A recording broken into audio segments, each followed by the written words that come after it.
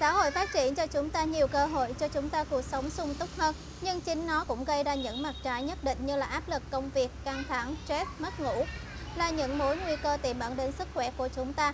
Vậy để đối phó với những áp lực ấy thì chúng ta phải làm gì? Ở video này thì chúng tôi sẽ chia sẻ đến các bạn kinh nghiệm của một khách hàng đã điều trị bệnh mất ngủ thành công nhờ nụ hoa tam thất.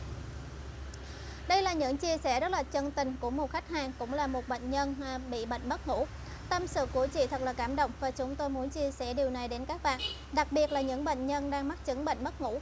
Rất mong các bạn biết được kinh nghiệm quý giá này để áp dụng điều trị chứng mất ngủ cho mình và người thân trong gia đình.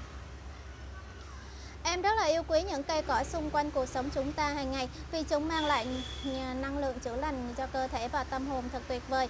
Và thật may mắn Việt Nam ta được thiên nhiên ban tặng cho kho tàng dược liệu. Với khí hậu và ánh nắng trang hòa, thiên nhiên vũ trụ ưu ái cho con người. Thời gian trước do tính chất công việc áp lực ở môi trường công ty nước ngoài và cũng đã từng bị mất ngủ do stress công việc. Thật may mắn là em tìm thấy được dược liệu quý hoa tam thất của Thảo Dược Đức Thịnh. Thoát được căn bệnh mất ngủ không có gì vui bằng. Thầm cảm ơn hoa tam thất. Em đã chia sẻ bài thuốc hoa tam thất đến một vài người bạn cũng bị mất ngủ và cũng mang lại kết quả rất là tuyệt vời. Hạnh phúc khi thấy người khác hạnh phúc.